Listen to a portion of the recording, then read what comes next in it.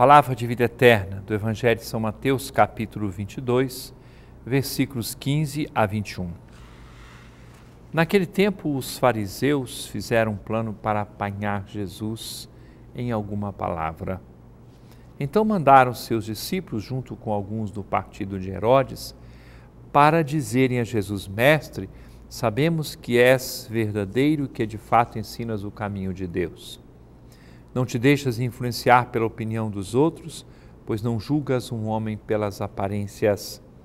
Dize-nos, pois, o que pensas, é lícito ou não pagar o imposto a César? Jesus percebeu a maldade deles e disse: Hipócritas, por que me preparais uma armadilha? Mostrai-me a moeda do imposto. Levaram-lhe então a moeda.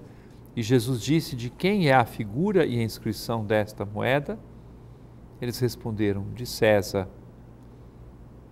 Jesus então lhes disse: Dai, pois, a César o que é de César e a Deus o que é de Deus.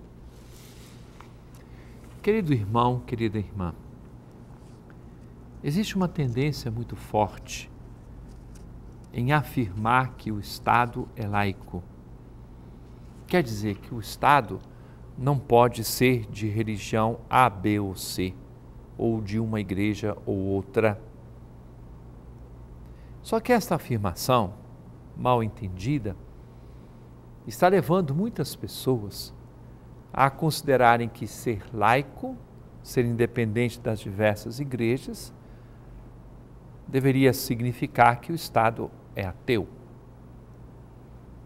Quando o comunismo ateu propagou o ateísmo como doutrina, eu conheci pessoas, por exemplo, na antiga Alemanha comunista, que nunca tinham ouvido falar de Deus, porque qualquer referência a Deus tinha sido banida da sociedade. E, infelizmente, existem riscos por esse mundo de Deus afora de que se venha a banir Deus da própria sociedade, da vida das pessoas.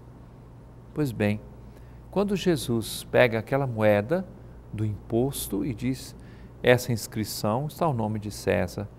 E diz: dai a César o que é de César e a Deus o que é de Deus. Será que ele está estabelecendo uma separação? Cuidado.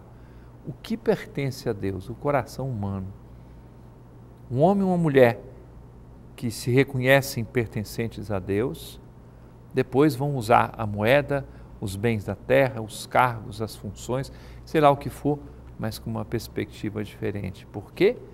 A Deus foi dado o que pertence a Ele. E nós só seremos felizes se transformarmos a nossa vida no louvor da glória de Deus. Quem dele se afasta não experimenta a felicidade verdadeira. Palavra de vida eterna.